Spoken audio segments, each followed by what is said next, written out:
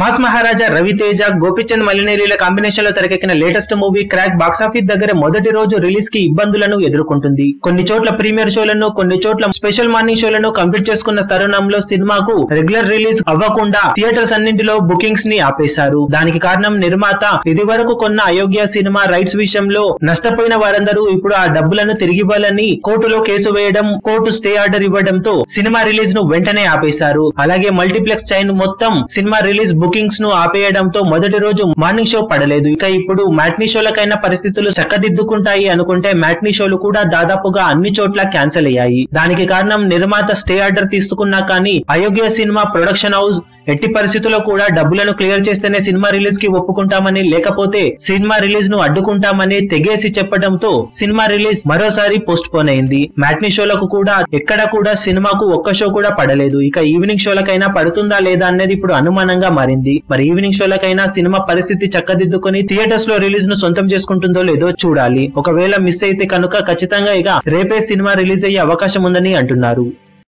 మీ అభిమాన హీరోలకు సంబంధించిన లేటెస్ట్ అప్డేట్స్ కోసం మా ఛానల్ని సబ్స్క్రైబ్ చేసుకోండి. ఏ చిన్న అప్డేట్ని మిస్ అవ్వకూడదు అనుకుంటే బెల్ ఐకాన్ని ప్రెస్ చేయండి. లైక్ షేర్ కమెంట్ చేయడం మర్చిపోకండి.